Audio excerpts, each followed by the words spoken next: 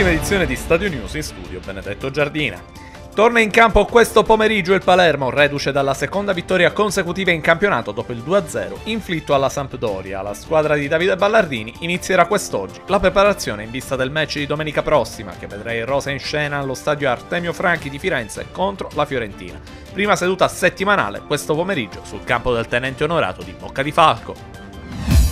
Intanto prosegue il conflitto a colpi di comunicati tra Maurizio Zamparini e Gustavo Mascardi, rappresentante della Pencil Limited, società che vanta diritti sul trasferimento di Paolo Di Bala dall'Istituto de Cordoba al Palermo. Il presidente del club rosanero, tramite un comunicato ufficiale, annuncia di aver ricevuto un atto di pignoramento presso terzi per i crediti nei confronti della società facente riferimento a Mascardi. Il Palermo si è già attivato per difendere i propri interessi in sede legale.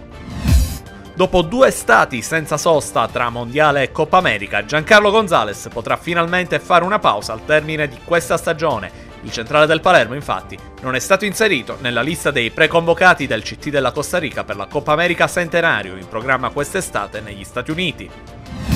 Gianni Di Marzio, consulente tecnico del Palermo, ha parlato così del mercato dei rosa e del suo ruolo in seno alla società. Sono andato a Palermo per aiutare Zamparini, che con me si è sempre comportato bene, ha ammesso Di Marzio. Mi ha chiesto di fargli da consulente per i calciatori che prende dall'Est Europa. Vasquez è fortissimo, è un trequartista mancino, ha fantasia e fisico, è stato malmenato sportivamente a Frosinone, non si è allenato per tutta la settimana, ha fatto solo terapie e contro la Sampdoria è stato il migliore in campo. Credo che il Palermo quest'estate lo venderà. Per tutte le altre notizie, stadionews.it.